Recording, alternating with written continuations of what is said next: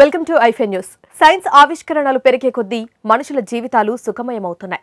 ఇక అసాధ్యం అనుకున్నవి సాధ్యం చేస్తున్నాం. అయితే ఎంత శాస్త్ర సాంకేతికత పెరిగినా కేవలం గర్భంలో మగబిడ్డనే పుట్టించాలనే పరిశోధన మాత్రం ముందుకు సాగడం లేదు. అయితే తాజాగా మగబిడ్డ పుట్టాలంటే కొన్ని మందులు వాడాలంటూ కొందరు ప్రచారంలోకి తీసుకొచ్చారు. ఈ మందులు వాడితే మగపిల్లలు పుడతారని నమ్మిస్తున్నారు.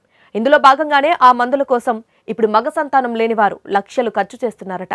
తాజాగా ఈ విషయంపై వైద్యులు నిపుణులు స్పందించారు. మందులతో ఆడ మగ బిడ్డను డిసైడ్ చేయలేమని స్పష్టం చేస్తున్నారు.